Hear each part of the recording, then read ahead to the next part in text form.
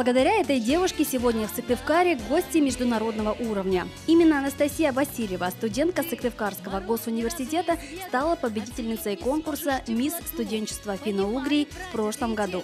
И теперь конкурс приехал в столицу Коми. Участниц семь, каждая со своими талантами, знанием национального языка и, конечно, стремлением к победе. Вообще, конечно, это здорово, что не пропадает интерес у наших молодых людей к традициям своего народа. И они интересуются, они обмениваются, они заинтересованы в этом.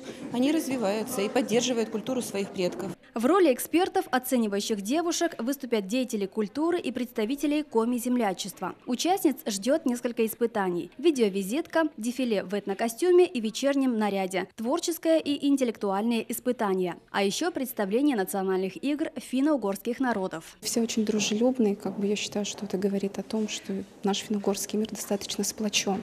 Это очень радует, что вот именно сейчас молодежь так это активно поддерживает, можно сказать, это в тренде. Но мне кажется, у нас очень хорошие с ними отношения, и каждую из участниц я вижу очень уверенно в себе. Видно, что они подготовлены, но я не сдаю позиции. Каждой есть чем похвастать. Пение, танцы, игра на уникальных музыкальных инструментах. Гостья из Ханты-Мансийска еще и рукодельница. Национальный костюм на сегодняшнюю встречу шила сама при поддержке мамы. Даже украшения и платок – дело рук самой девушки. Нарядов, к слову, участницы привезли немало. Гостья из Мордовии признается, костюмы их народа самые громкие. Не зря говорят, сначала мордовку слышно, а потом видно. Наш костюм а, чаще всего состоит из таких частей а, очень громких. Мы звеним.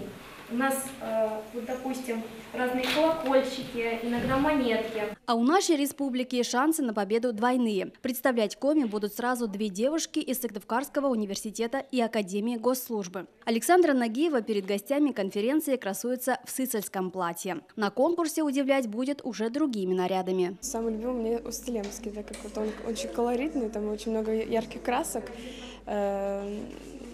Поэтому, скорее всего, мне нравится из-за этого устилемский костюм. Чтобы я смогла выступить достойно, не подвела свою команду, не подвела свой университет.